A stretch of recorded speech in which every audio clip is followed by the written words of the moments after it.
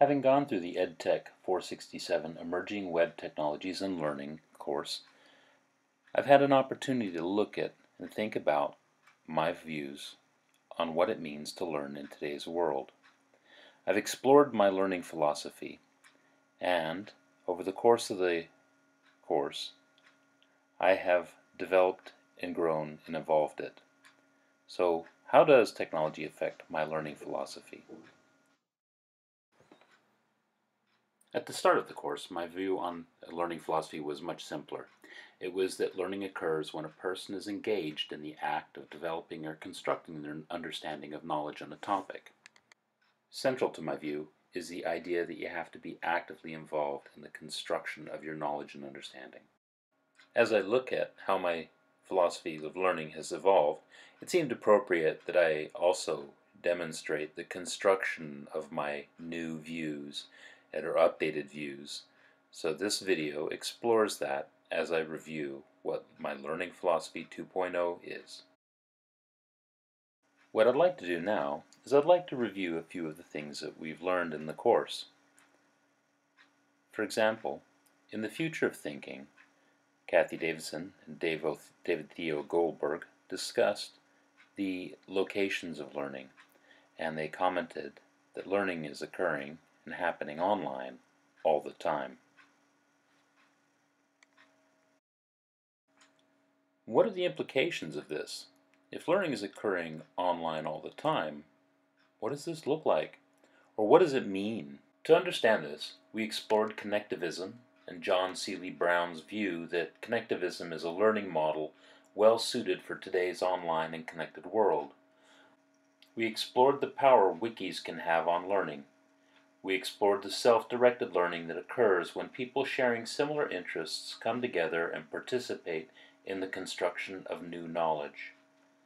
I have come to have a better understanding of tech-enhanced learning and how it utilizes self-motivated participation, communication, and how it blends learning styles and places, how people can collaborate or build on the work of others while having rich conversations that provide answers to people's questions.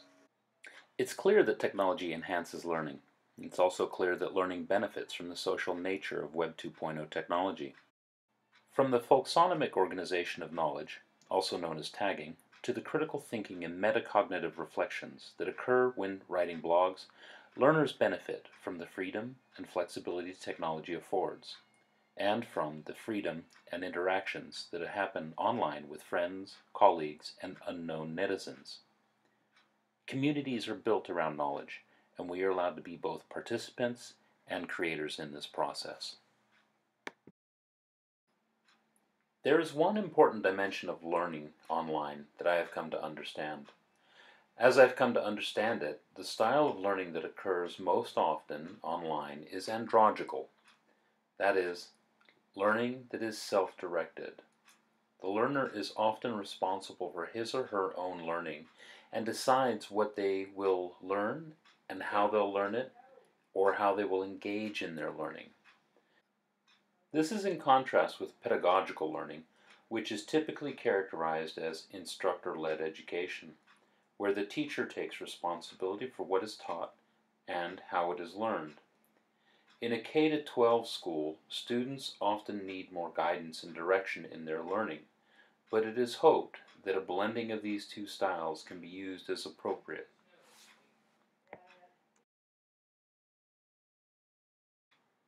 And with these understandings, I'd like to return to my learning philosophy.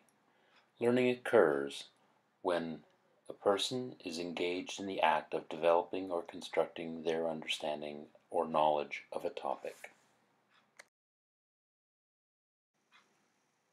But now with our understanding, we'll expand on that to say that the act of learning should utilize the affordances Web 2.0 collaborative and participatory communities provide it. While recognizing that in an education environment such as a school, that this process of learning should be facilitated by a mentor teacher who will guide the students appropriately, assisting them to find mistakes and discover new directions and possibilities.